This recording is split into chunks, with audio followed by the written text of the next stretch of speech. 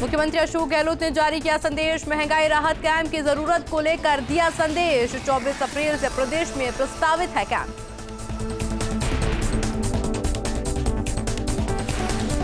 Bogura Amritpal arrest, भेजा जाएगा Dibrugarh jail. गिरफ्तारी से पहले मोगा के गुरुद्वारे में दिया प्रवचन। समर्थकों के साथ सरेंडर का था प्लान केंद्रीय गृह मंत्री अमित शाह आज तेलंगाना दौरे पर चिविल्ला में जनसभा को करेंगे संबोधित ऑस्कर। जीतने वाली फ़िल्म आरआर की टीम से करेंगे मुलाकात। राहुल गांधी आज हफ़्ते भर में दूसरी बार कर्नाटक दौरे पर बसवा जयंती कार्यक्रम में होंगे शामिल। विजयपुरा में करेंगे रोड शो।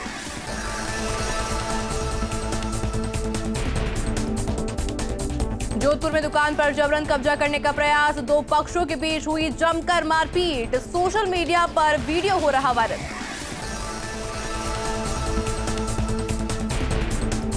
राजस्थान की सबसे बड़ी आवाज़ बना फ़र्स्ट इंडिया न्यूज़। दर्शकों ने चैनल को बनाया नंबर वन। टीआरपी में सिरमौर बनने पर चैनल है डॉक्टर जगदीश चंद्र ने दर्शकों का जताया आभार।